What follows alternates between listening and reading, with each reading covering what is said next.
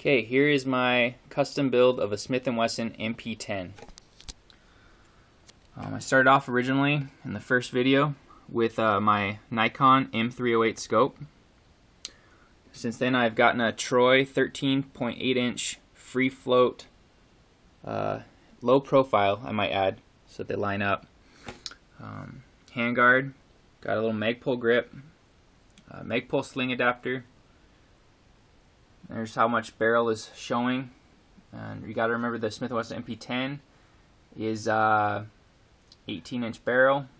Got a cheesy little or cheesy little bipod on it. I will be getting an Atlas eventually.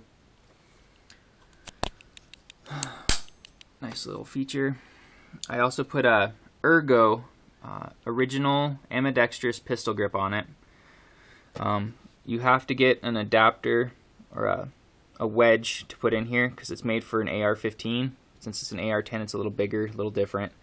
Uh, they sell the wedges through. I know Magpul sells them for I think it was like 350 or something, three dollars and fifty cents. Not bad.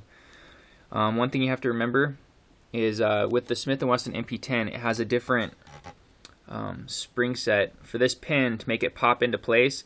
It has a spring that pushes it and usually comes out the back. Well, for the MP10, it actually comes through the bottom. So instead of just having the spring that for this, you have another place for a spring, uh, like a little hole. It's only about three one hundredths of an inch deep, but uh, it's not too hard to compensate to drill a little hole. Um, then here is my my stock. It is a custom Reaper ACS Magpul. Um, Got quick detach sling mounts on it. I will be getting these replaced with black ones as soon. Um, when they shipped it, they didn't have any more black ones, so they just sent me green ones, and they'll send them to me eventually.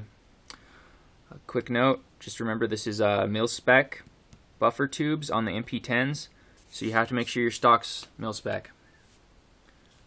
Other than that, this is my custom build of the Smith & Wesson MP10. Can't wait to go shoot it.